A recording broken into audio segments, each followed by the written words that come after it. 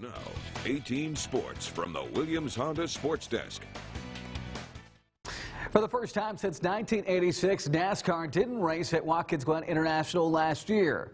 Boy, it seems so much longer than that after COVID. Today, WGI is coming back full force. The world's most famous road course announced that it will be coming back for full fan capacity. No restrictions whatsoever. The Go Bowling at the Glen is slated for Sunday, August 8th at 3 p.m. Track President Michael Printup is thrilled to share the news with all the great fans of WGI. If you're vaccinated, no need to wear a mask. If you're not vaccinated, please wear a mask um, consumer facing people like you know our team display teams and other teams um, that are working the racetrack you know they'll either have face shields or we'll have masks on. We will be opening up everything. I think that you know there's going to be some hesitancy in the market.